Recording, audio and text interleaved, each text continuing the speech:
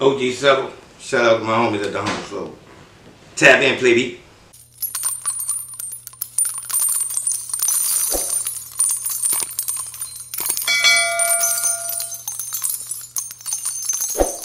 A humble soul. We checking back in, man. Another exclusive. OG shit, you smell it. We got Mr. Marcelo in front of the camera once Yeah. again. Jet Life General Cello. You know what I'm saying? Hey, boy, look, let's get straight to it. Come on, when you bring let's go. Man, so the, the last time, man, you know, we chopped it up about a lot of different things. Um, you touched on like the early '90s um, in New Orleans, just how serious it was. Um, the Magnolia Calliope, um, just history. You know what I'm saying? Before it was tension to the to the issues, and how you were still kind of cool on both sides through it all. Man, get to it. You know what you want to talk about. Come on. You know what I'm saying? I'm just giving for people who didn't see the last interview. Oh, You know what I'm right, saying? But you talked about okay, one of the key things is um man, you was uh you was locked in with the Hot Boys, man, original Hot Boys. And um you talked about your relationship with each one of them and um I also asked you about you know your thoughts on Gangsta, you know what I'm saying, as far as like him cooperating and talking about a couple of the deceased members, you know, of the Hot Boys who you who you knew. And um And I That- gave my opinion, and he took it like I was saying. When I said, um, well, I said I don't like the back and forth, but I wasn't talking about like as in him. I'm just talking about period, cause I know both sides of it. But he took it to where I was saying that like he's the one with the back and forth, so he showed to where it's like he was only responding to things. I mean, which I understood. yo, But I wasn't saying like as in it wasn't pointing him out saying that as in like he the person who was starting it. For me, it ain't about who started or, or none of that shit because I know both sides. I'm just not on it like I'm as in you know when it's family, it's family. It's just something different. for sure. And I just was saying that as in when you asked me my perspective of it, that was my perspective of it. But it, it, wasn't just that. Like you said, you stand on the code. You know, don't do I mean, no ratting. As in this is when I see a code, like right? This. But you I don't stand on street law. I stand on man law. Man law is a part of that. Like I'm not gonna get into in, in nothing that I can't stand on like that. So I would never put myself in a predicament. Like I'm grown now. So it's a lot of things that go on in the street that I don't even fuck with. I stand on man law. Like once you get to a certain age, you become a man. So you, some of that street shit you got to let go like and when I say it, I'm talking about like responding to everybody nigga that say something or something. I'm talking about straight street shit.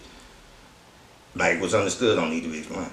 So you get in, you stop getting into arguments and fusses. You start understanding like some of these spots I ain't supposed to be in. I outgrew 'em, shit like that. You know what I'm saying? So it just push you, and you got shit to live for. Like, but motherfuckers ain't got to worry about no gangster. What you got to worry about is a man, cause he got shit to do tomorrow gonna move different. Like him not going home is that's not an option.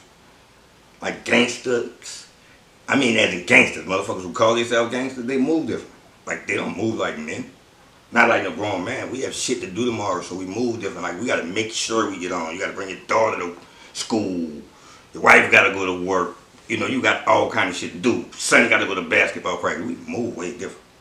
Yeah. Nah, man, bro. Um, bro, just to uh, take a step back. So, when you talked about um, just going back to the gangster side versus, like, you know, just being a, a man and maturing, you know what I'm saying, and actually taking care of real life responsibilities on on on the street side, bro. So you were around when those laws were made. You know, you, you were at that table That's why everybody that probably um about the not had any kind of discrepancies about it was probably because they was around. Can you talk Like that's the only people that I can only respect. That's why I like when the younger dudes be saying something, I be like, y'all can't really speak on it. Can you but, uh, can you talk about that time, bro? Like for the I mean, viewers who may not be familiar. around the time of the nineties where laws was made. And I'm not saying it like that and everybody just sat down, but was under, it's things understood. Mm-hmm. And in that time, everybody stood on that law. And that law is Ain't no rapping. Oh no, indeed. Oh no. Uh, period. None. let me ask you this, Cello. Um, with you being somebody who's a, a quote unquote OG now, you know, um, but you, you you spent your time in the streets as well. Have you ever been in a situation where that was kind of presented to you, like? You always get in them situations every time you go to jail. Hold on, say that again. You said what now? You always get in those kind of situations. Anytime you go to jail, like Mhm. if you really getting some money, like they won't see if you won't get yourself out of the situation. Man, nobody got no time to talk to y'all, man. Get me upstairs.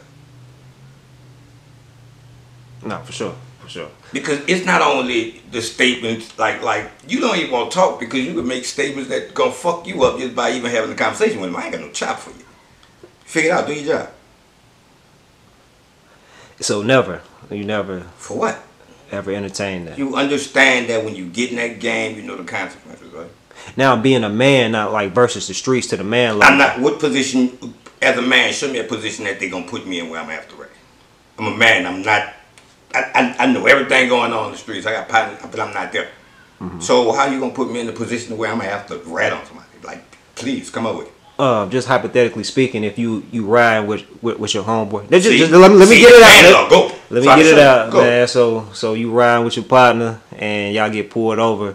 It's a it's a pistol or some pistols in the car and they search the vehicle. First, I got a legal gun, so I'm not riding with no illegal guns. Your gun makes my gun illegal. But let, let me let me let me let me get it off, dog. I So mean, so so, so so so you know, but it's not your legal gun. You know what I I'm saying? And, and, and you weren't aware that the gun was in the car, mm-hmm. and the other person doesn't take responsibility of it. Y'all I'm both not go to getting in jail. no car with them kind of people. But just hypothetically speaking, It's if that not happened, going. I'm just showing you how you protect yourself. Like listen, um, um, like Ty BG little son, right? Free him. Um, used to be a gang of them always hanging together, right? The dude's really in the streets, right? Um, the Soulja, um, young juvie. Nino, Young Juve, like all them about to go to the studio one day. I think it's T Wine and um, the Soulja pull up to come get me. Right, they come to the house. They're like, come on, you can ride with us. I said, what y'all gonna go? Oh, I got this, that. I said, I'm following. I'm not following. But like you gotta be conscious of that because that's not their job like as and them the dudes really in the streets, like I gotta protect myself through that. So I got to find out what's in there. Like I don't get like the, the number one thing that gets you in trouble in the streets is boredom. When you get bored, you do shit that you don't normally do. I don't get bored. I can easily find something to do. So I protect myself. Once I start moving around and all that kind of shit, I protect myself. Everybody make mistakes, but I protect myself. Yeah. If, if, if it's gonna be a mistake, I'm gonna make it. Mm-hmm. So like it became a time where with the youngsters, I had to push myself away from them a little bit because their mistakes could have gotten killed.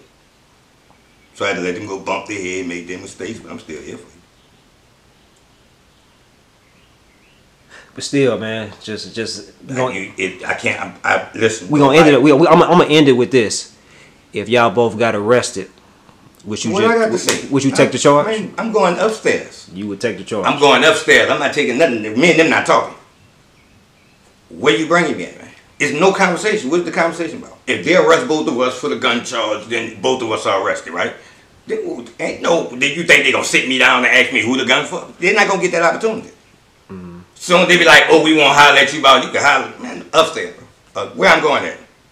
And the reason I asked you that, man, I was in uh, Chicago recently, and um, I asked um, a person up there about a situation where um, a dude was in a car with his homeboy, and he pretty much was like, man, the dude had a, a firearm, but he didn't take responsibility for it. And why, when they got locked up, he was like, man, hey, man, he told the people, like, hey, man, bro gonna take take his weight. That's his gun. And some people viewed it as snitching, some didn't. You know what I'm saying? So that's why I was doing that. Like you being a lot older, you know, um, What what what? Like, let me tell you this, right? Social media have things with a gray line. And my time, is black and white. Social media always got something gray. So, like, they they want you to respond to shit, but then when you respond to the shit, they go to the gray line on you. But I only can talk about my time that. I feel you. I don't know this new shit going on. I feel you. And I don't get into it. Now, if one of them come asking my opinion, I'm gonna tell them what I think. But what I eat don't make you shit. That don't mean you gotta listen.